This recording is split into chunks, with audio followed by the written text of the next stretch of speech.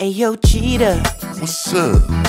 I'm so hungry I can't handle it. And I think that I might start panicking if we don't make a big steak sandwich. Alright, bro, I can see you in a hurry. Let's make a quick steak sandwich with chimichurri. First, you gotta salt your skirt steak and cook that bitch on each side for three to five minutes. Now set it aside and let it rest. Now it's time to make the chimichurri. Go and get parsley and chop it. Mix up your garlic, throw it in a bowl, then you gotta go and top it with some chopped chili and dried oregano, red wine, vinny, and a bunch of olive oil. Okay, I'm mixing it up and I think I'm in love. Is it time for us to get the bread toasted up? Yeah, slice it your body and spread the bread with some butter. Get your skillet nice and hot and put that shit face down.